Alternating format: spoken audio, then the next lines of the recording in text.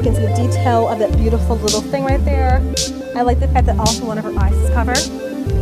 What happens is girls love to use their hands in photos. Everyone's doing right now in magazines. They want to use their hands.